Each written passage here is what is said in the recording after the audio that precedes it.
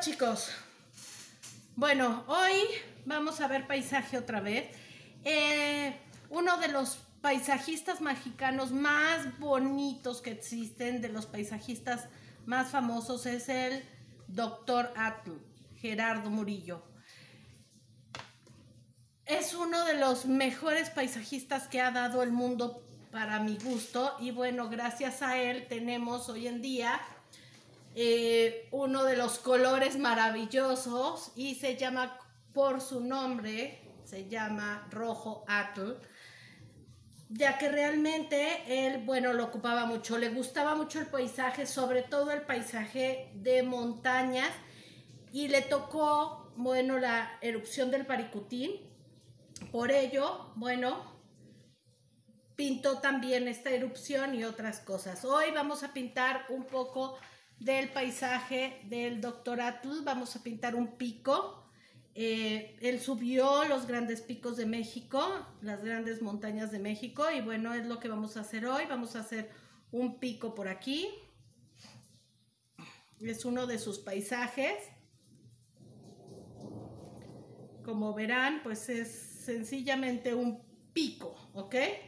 Un pico hacia este lado, alto, bonito, y bueno, los picos usualmente tienen nubes, se le pone unas nubes muy redondeadas, algo Van Gogh, algo Van este, muy, muy rebuscadas, de vueltas, de, de, de piruetas, algo bonito, así muy, muy pomposas, ¿ok?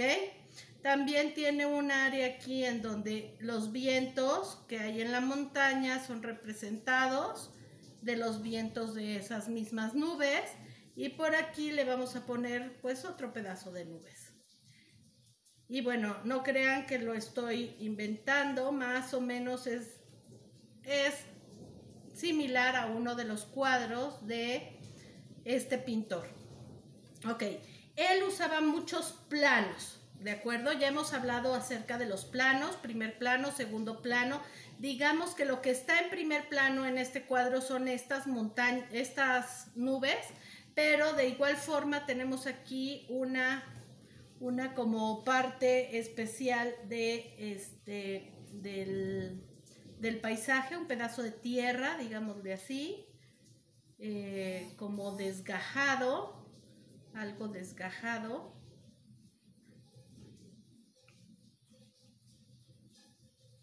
De esta forma que se encuentra en este sitio. Y bueno de este lado nos marca como una figura algo así.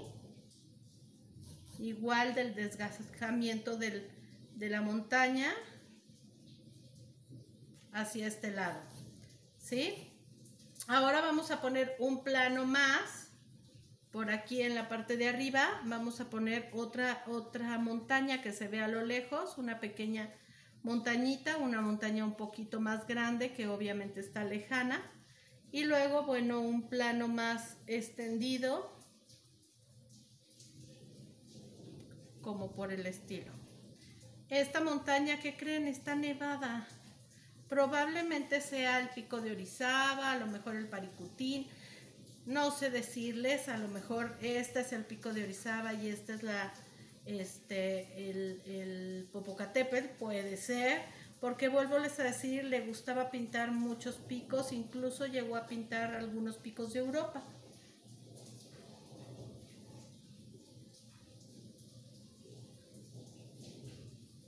Ok, estos todos van a ser planos, planos y más planos de terreno. ¿ok? Porque está visto desde arriba. Ahora vamos a hacer la nieve de este pico, de este pino. Vamos a marcarla como de esta forma, como si la estuvieran cortando, como si tuviera pues piquitos. Ajá. Y luego en algunos casos le vamos a poner un doble nevado, ¿ok? Aquí y luego aquí y luego por aquí. Listo. Y por último vamos a jalar hacia abajo y darle algunas sombras por algunos lugares que van a estar extendidas así. Ok, esto básicamente ya es nuestro paisaje general que vamos a tener de trazo de diferentes planos. Y vamos a empezar a pintarlo con el color. Ok, los colores, como les decía yo, suelen ser colores rojos muy vivos. Este cuadro no tiene colores tan rojo atl, pero en honor a, al pintor le vamos a meter algunos, ¿de acuerdo? Porque él usaba este rojo que es muy, muy, muy intenso. Ok, este es mi rojo que voy a usar. Lo voy a usar aquí para la zona de la tierra.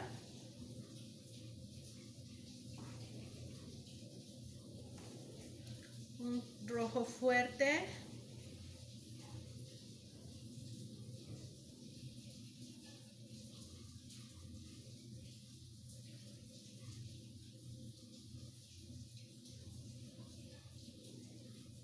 Vamos a remarcar esas líneas que habíamos hecho antes. Las vamos a dejar bien marcaditas ahí, ¿ok? De igual forma, le voy a pintar las líneas externas de la montaña rojas vuelvoles a decir esto es en honor al rojo atl que es este tono que es muy fuerte muy intenso muy vivo de rojo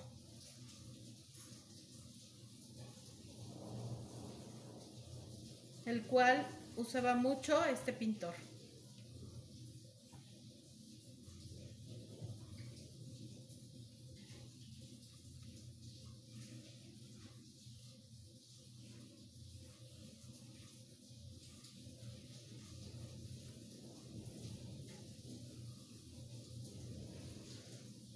Bueno, ya le puse este tono. Ahora voy a acompañarlo de los tonos originales del cuadro que son variados, ¿ok? Vamos a empezar por poner nuestras nubes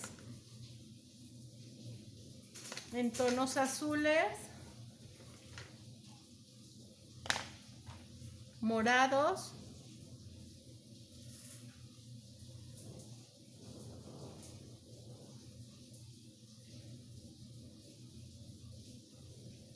sin perder obviamente nuestro blanco.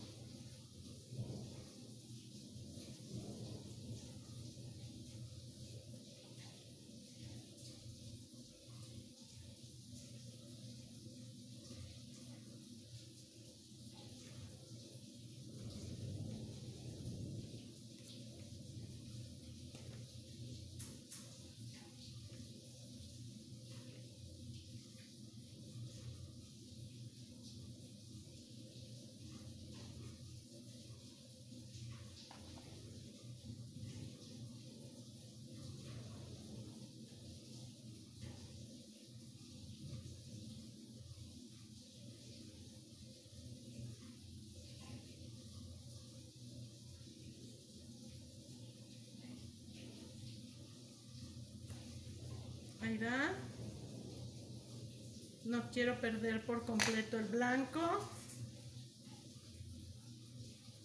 Solo le voy a dar algunos toques de azul. Sobre todo entre una y otra parte de una, como por ejemplo aquí, entre esta y esta y esta, le pongo un poco de azul. Igual aquí en medio, entre esta y esta, un poco de azul. Y así. Luego le voy a poner un poquito de morado. Voy a encontrar un color moradito que me guste, suave. Es una nube. El moradito es como el color en donde le pega la luz diferente y se ve lindo. Igual tiene que ser entre una y otra sección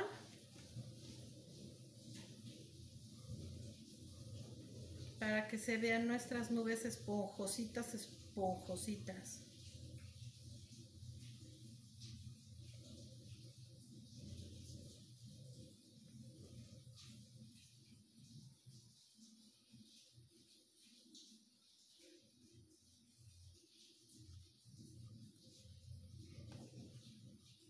Más o menos ahí lo estamos dejando la nube.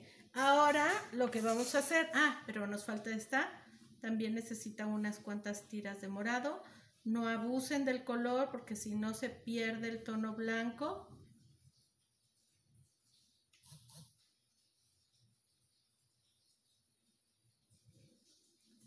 Solamente en algunos pedacitos.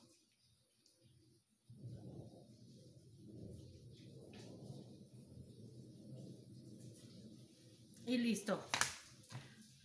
Ahora bien, vamos a trabajar esta línea de la nieve. También va a ser de color azul, algo moradosco.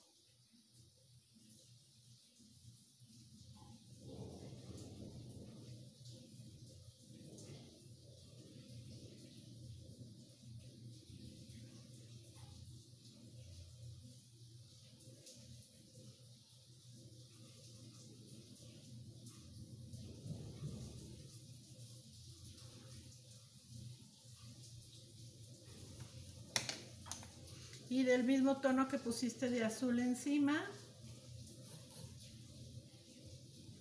para el hielo. No abusen tampoco del color para que no se pierda el blanco del hielo. Ahí está nuestro hielo y nuestro morado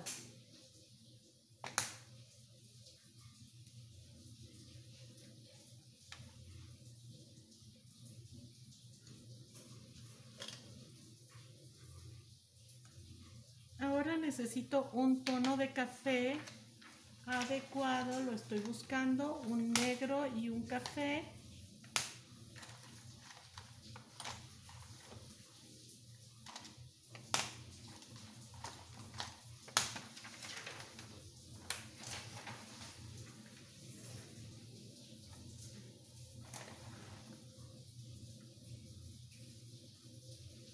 Negro no es el adecuado porque no me da un tono fuerte.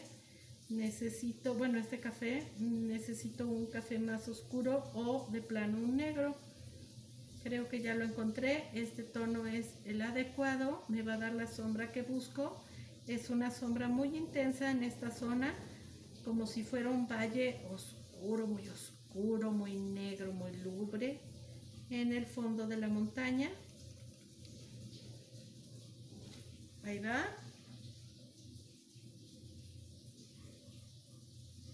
El doctor Atul fue maestro de muchos pintores, entre ellos José María Velasco y otros tantos como Diego Rivera. Entonces, bueno, para muchos de ellos él era muy, muy importante y eh, era un maestro que le gustaban los contrastes fuertes de color, como verán era muy fuerte en su trabajo, tenía mucha personalidad y lo dejaba muy marcado en su trabajo.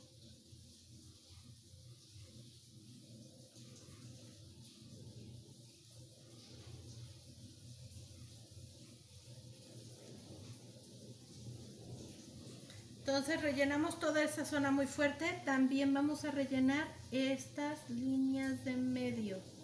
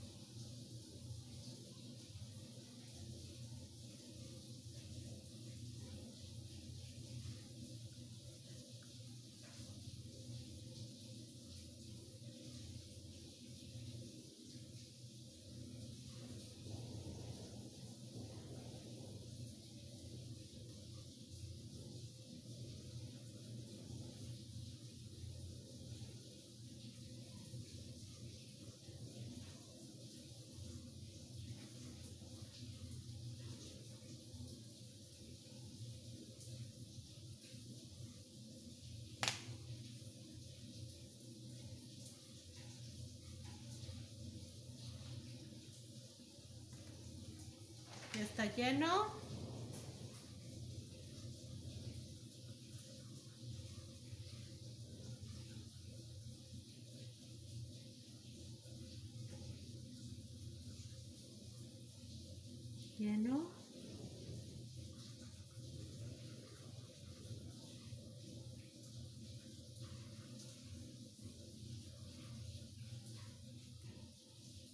Ok, ahora voy a tomar el otro café que tenía yo antes suave y lo voy a pintar encima del rojo y en los espacios que hayan quedado blancos de esta montaña.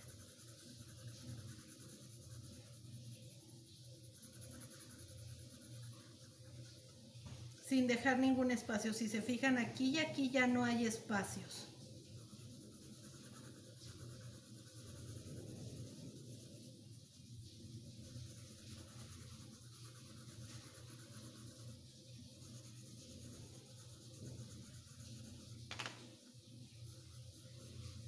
Había mucho espacio blanco.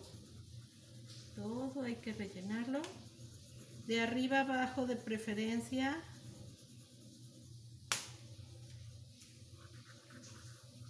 Para que esto le dé caída a nuestra montaña.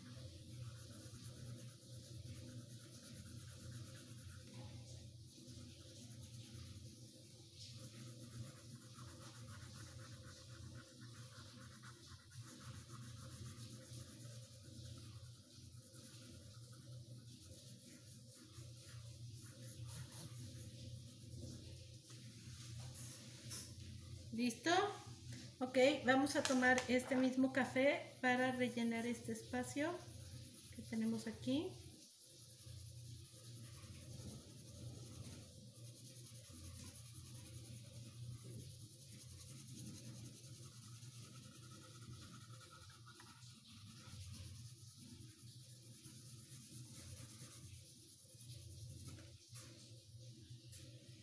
¿Listo? Aquí también, pero lo voy a rellenar de lado para que se acueste un poco. Y luego voy a rellenar el otro espacio hacia abajo para que igual le dé caída.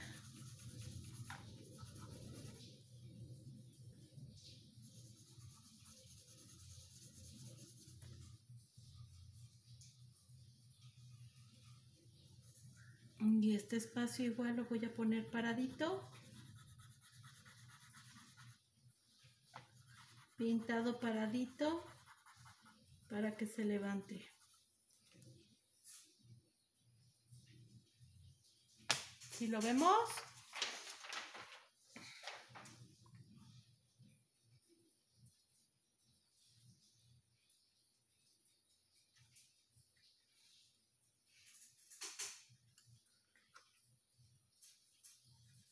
y le voy a poner un poco de naranja.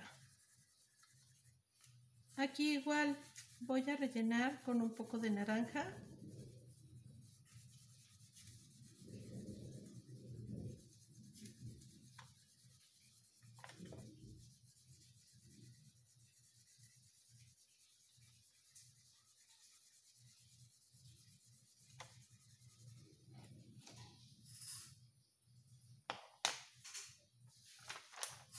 Y ahora vamos con lo de atrás.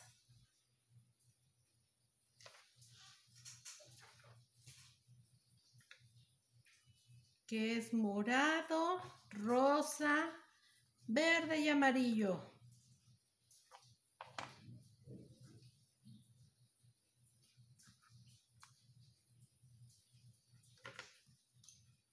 Listos, mis colores. ¿Saben que Este está muy lindo. Voy a hacer un rosa más rosa.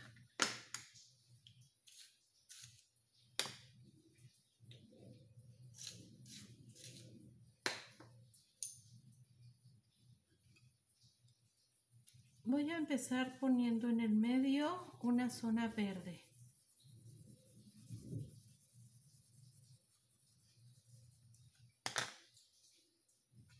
Aquí una zona amarilla. Y la zona en la que se unen las dos partes la voy a pintar de rosa.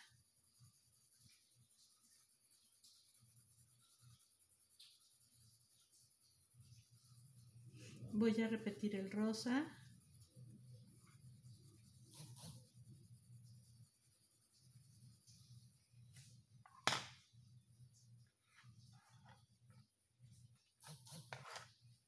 La zona amarilla.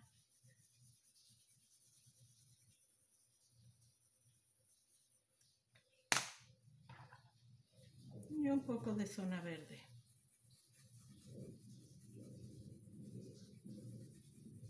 Hasta llegar al rojo.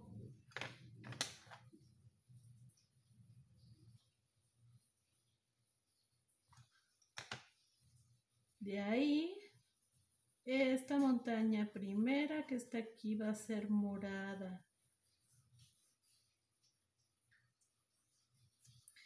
Y va a extender su tono acá.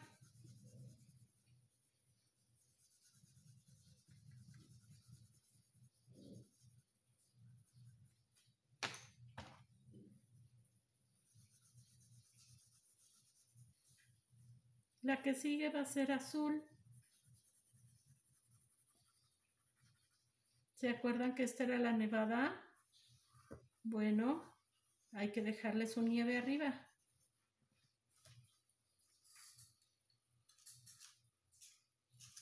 No tiene que tener problemas para que su piquito... ¡Ay, se me rompió mi punta! Para que mi piquito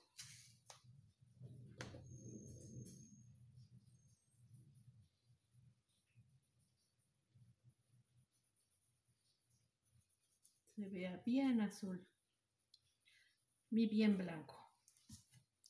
¿Ok?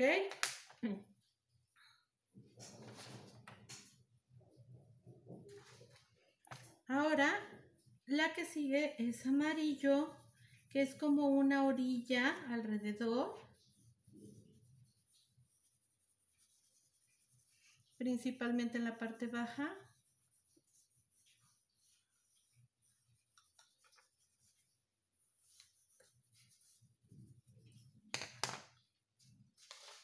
Así.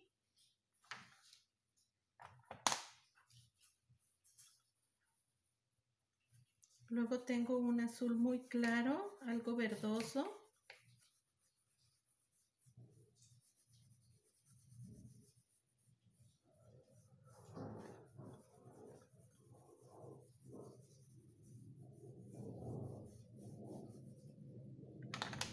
Y por último, tengo el azul que ya venía trabajando.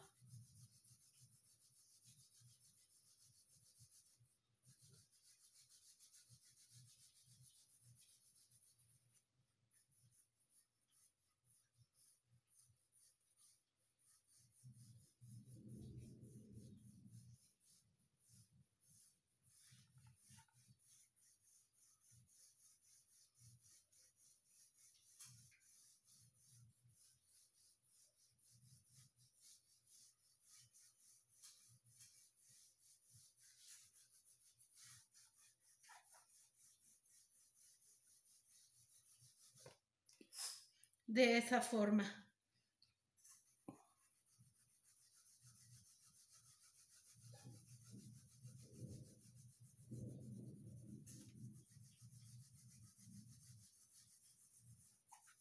Algo más parejito sin dejar tantos huecos. Porque no queremos que el cielo sea de importancia. Lo importante es la montaña. Así que el cielo pierde un poco de importancia para que gane la montaña y sus nubes. Bueno, este es un cuadro del Dr. Atl, uno de los paisajistas mexicanos más reconocidos en el mundo, que hizo hermosas pinturas tanto del paisaje mexicano como de otros volcanes alrededor del mundo se dice que llegó hasta el, hasta el Vesubio a pintarlo. Así que, bueno, espero que les haya gustado. Es un hermoso trabajo de planos, diferentes planos en el paisaje. No olviden finalmente firmarlo.